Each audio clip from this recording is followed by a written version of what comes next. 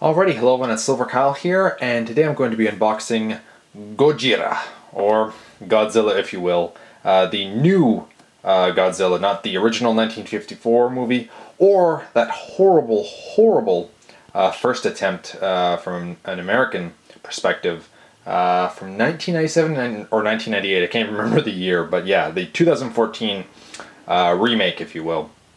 And this is the Future Shop exclusive steelbook, and it looks fantastic. I love uh, the look of this, uh, just you know, showing the back of Godzilla. And actually, the way that they, they made this, it almost looks like the 1954. Like it looks like it could be black and white, um, and, and, even like I don't know, it just really looks like the classic uh, Godzilla. Um, here's one side there. The background, this is just like a slip that they kind of add, uh, but it looks really sweet. I actually kind of wish that that was the rest of the steelbook, uh, but steelbooks are generally pr pretty plain, and I'm kind of picky. I love steelbooks, don't get me wrong. They're my favorite thing uh, to have here. That's what the new Godzilla looks like. Um, does it say Godzilla? Yes, it does on the spine. Right there. I'll lure this. Yeah, so anyway, uh, I'm very picky with steelbooks. These things are my favorite thing uh, to collect um, in video games and in movies.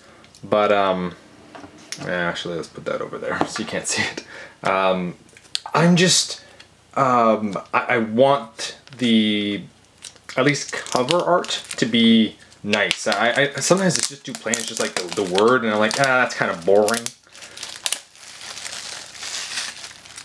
Okay, so we can take this off, but this one just looks beautiful. This is actually quite possibly one of my favorite um, steelbooks, other than maybe The Dark Knight Rises with uh, Batman Batman's mask. Wow, look at that red. It's just like glowing um, as we take it out there. And just this is the back, which is uh, all the troopers uh, falling down. I call them hell jumpers. I can't remember if they actually call that, that in the movie. Okay, there's my slip. I'll just put that to the side. Woo, this is actually kind of cool. Okay, so um, there's the Blu-ray discs and um, obviously the um, the background here looks really nice. I like that. I'm just going to take a quick peek and see uh, what the background art is behind these two discs. So I guess one of them is the DVD, one of them is the Blu-ray. This is the uh, DVD, this is the Blu-ray. And in the background there you can see a little bit more, just kind of like Godzilla going through the, I guess, New York? I can't remember where he ends up. He ends up in the States at some point though.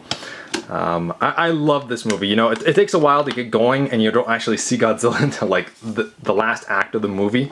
Uh, but when you see him, my god, it is so worth it. Uh, so there you have it.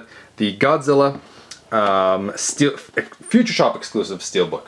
Thank you all for watching. You've been bearded in. Beardage!